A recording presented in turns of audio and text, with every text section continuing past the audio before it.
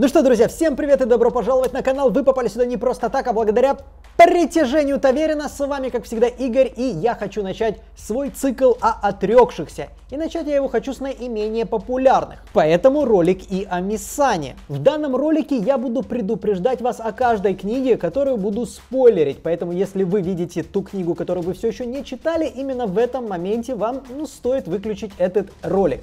Ну что ж, давайте начнем.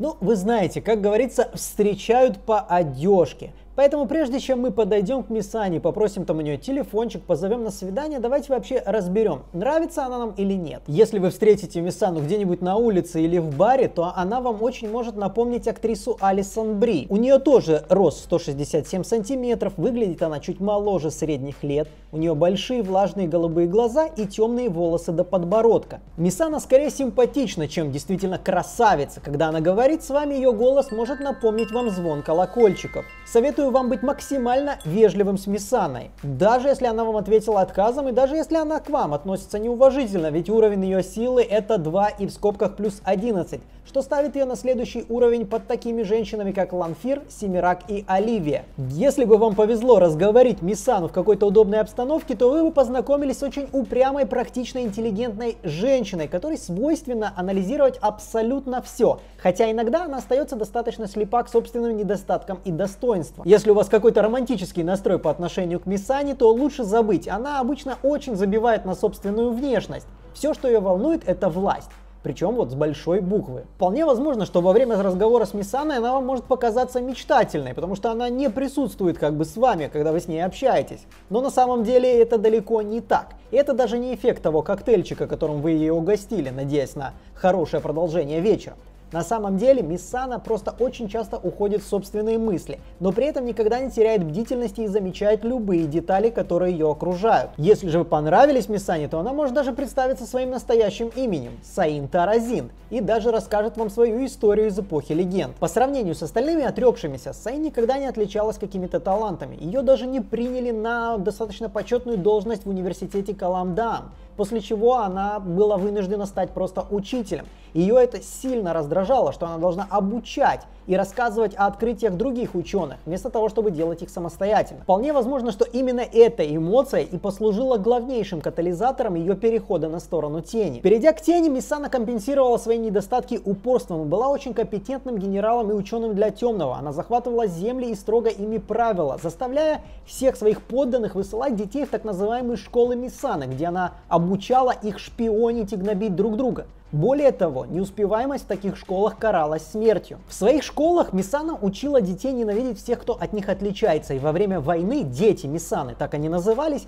часто были достаточно ключевыми игроками. Они нападали на академиков, предавали и шпионили за своими родителями, а также во второй половине войны часто выступали в роли судьи и палача. Если бы Мисана высылала резюме на работу, то скорее всего заглавила бы ее как темная Амерлин. Она очень много занималась именно организаторской работой и привела в строй черной Ая немало новых рекрутов. Будучи одной из 13 и сильнейших приспешников Темного, Миссану призвали в Шайлгул в тот день, когда Льюстерин Теламон и 100 спутников напали и заточили их вместе с Темным. Но имя Миссана еще долго преследовало этот мир, потому что банды и группировки, которые формировались во время разлома, часто называли себя дети Миссаны. Более того, многие из них действительно были бывшими воспитанниками этой отрекшейся. Ну что ж, теперь мы переходим непосредственно к циклу «Колесо времени». Сейчас начнутся спойлеры и начнем мы с книги «Властелин хаоса».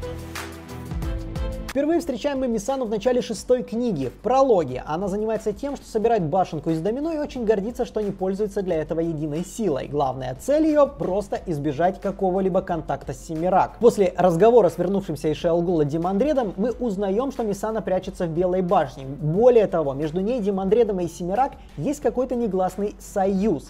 Кроме того, мы также узнаем, что Мисана была каким-то образом причастна к плану поимки Ранда Алтора в Тире. Она им очень гордилась и была уверена, что у Белала все получится.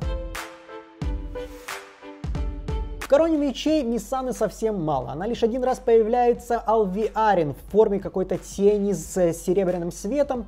Узнает от Алвиарин, что Элайду посетила пророчество, и когда черная Ая предлагает ей устранить Элайду и устранить Амерлин, Мисана с издевкой отказывается, после чего она все же снисходительно обучает ту перемещению. В пути кинжалов Мисана еще меньше, чем в прошлой книге. Она лишь один раз появляется Алвиарин и приказывает той разузнать, почему главы Ая на глазах, на людях грызутся друг с другом, но когда никто их не видит, они шушукаются и что-то планируют. Алвиарин снова предлагает устранить Илайду и снова Мисана презрительно отказывает перекрестках «Сумерек» через воспоминания Алвиари мы узнаем, что Мисана была достаточно сговорчива и рассказала Черной Ая о таких изобретениях эпохи легенд, как летающие машины и даже лифты. После того же, как Элайда разжевывает Алвиарин, это возвращается и просит помощи у Мисаны, появляется Шайдар Харан – он наказывает Мисану за то, что та не явилась по призыву Темного в Шадар Логот, когда Рант очищал Саидин. В наказание Шайдар Харан насилует Мисану. Одна из самых таких хардкорных сцен Колеса Времени. В книге «Нож сновидений» Мисана приходит на очередную встречу, организованную Маридином. Мы видим разговор между ней и Арангар, где они пытаются координировать манипуляции с сестрами в Белой башне и сестрами-мятежницами. Каждая пытается перетянуть одеяло на себя, и из разговора мы узнаем, что Мисана и была тот человек, который первым придумал план расколоть башню. Под конец встречи Мисана пытается показать характер, но Маридин напоминает ей, что она уже была один раз наказана, напоминая ей про изнасилование Шайдар Хараном, и приказывает не трогать Ранда Алтора, но при этом убить Перена Айбару и Мэтри Маккоутона. Прологе грядущей бури Мисана снова на встрече у Маридина с другими отрекшимися. Ну что ж, Маридин явно очень любил тусовки. Мисана пытается уговорить его, чтобы он спас Семирак, ведь она попала в плен к Ранду Алтору. На что Маридин отвечает отказом и говорит, что Семирак заслужила то, что с ней происходит. Опять же, каждый раз, когда Мисана пытается показать характер, Маридин напоминает ей, что происходит с непослушными девочками в стане темного и приказывает им удалиться. Напоследок Мисана обещает преподнести темному белую башню на блюдечке. Ну и наконец книги Башни Полуночи после долгих попыток заманить Мисану в ловушку, та наконец нападает на Эгвейн, на Хранительниц Мудрости и на представительниц морского народа. После долгого сражения в Селаранриоде в конечном итоге наши побеждают. Эгвейн ломает силу воли Мисаны своей силой воли и в конечном итоге после сражения уже сестры находят одну коричневую сестру по имени Данель. Она полностью лишилась ума, у нее там течет слюна с подбородка и все дальше по списку. Она безоговорочно проиграла Эгвейн и осталась только лишь одна, светлая Амерлин в конце этой книги. Кстати, еще один прикольный момент. Если вы перечитываете цикл и вы уже знаете, что вот Данель это и есть Мисана, то в четвертой книге у этой коричневой есть даже очень неплохая роль. Во-первых, в сцене, где Элайда срывает паланкин Суан, рядом с ней стоит Данель и очень ехидно ухмыляется. Кроме того, Данель была ответственна за работу каменоломщиков Белой башни, и под этим прикрытием, под прикрытием рабочих, она смогла провести несколько сотен солдат в Белую башню, которые и были частью нападения и свержения Суан. На самом деле неизвестно, была ли она уже в этот момент Мисаной, либо же потом отрекшаяся уже использовала ее внешность, потому что они даже чем-то очень похожи. У обоих голубые глаза, обе немного мечтательны с первого взгляда. Личное мое мнение, что да, это уже была Миссана, потому что она таким образом косвенно подтолкнула Элайду и помогла всем, чем могла, чтобы в конечном итоге случился раскол в Белой башне. В любом случае было бы интересно узнать ваше мнение. Если вам ролик понравился, то ставьте палец вверх, пишите комментарии, подписывайтесь на этот канал, если вам интересно колесо времени и другие фэнтези произведения. А если хотите поддержать этот канал рублем, видеть ролики раньше всех и вступить в армию света, то ссылочка на Patreon внизу. Я же, как всегда, вас всех очень сильно люблю, всех целую и да осияет вас свет.